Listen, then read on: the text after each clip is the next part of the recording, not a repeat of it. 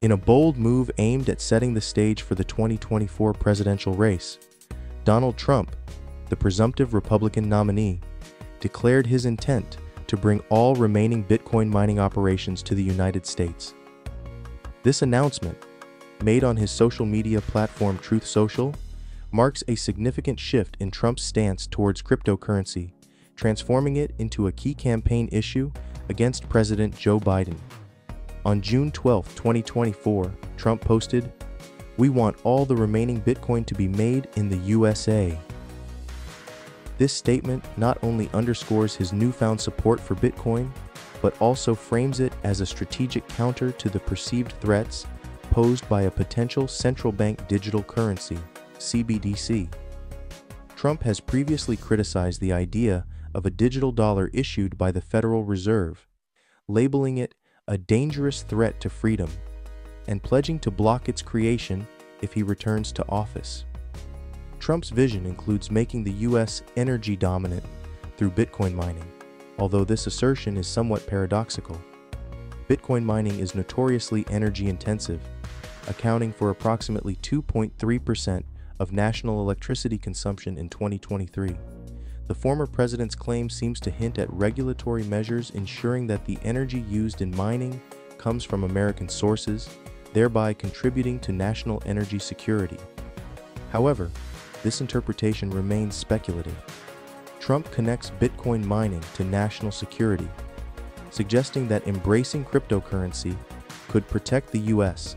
against its adversaries, including China and Russia, as well as domestic political opponents. This stance appears to leverage the privacy and autonomy associated with decentralized digital currencies against the perceived control and surveillance capabilities of a government-issued digital currency. Several of Trump's claims, such as Bitcoin being a defense against CBDCs and aiding U.S. enemies, lack detailed explanations. The Federal Reserve's development of a digital currency could potentially be accelerated by the widespread adoption of cryptocurrencies, contrary to Trump's implication.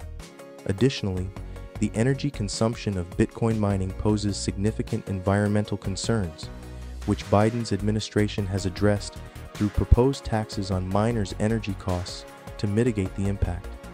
Trump's recent meeting with Bitcoin miners at Mar-a-Lago, including leaders from firms like CleanSpark Inc.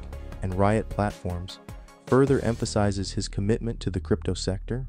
This meeting signifies a marked departure from his earlier skepticism when he labeled cryptocurrencies as volatile and a facilitator of unlawful activities.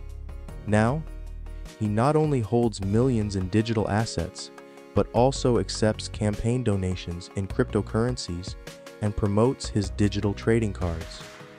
Bitcoin's supply is capped at 21 million, with around 90% already mined.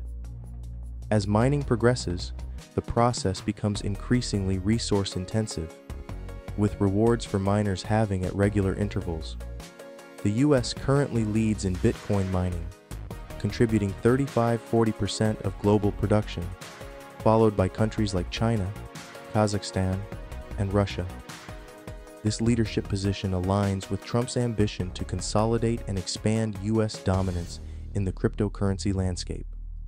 Trump's latest embrace of Bitcoin and cryptocurrency represents a strategic pivot designed to distinguish his campaign from Biden's, leveraging digital assets as a symbol of freedom and economic innovation.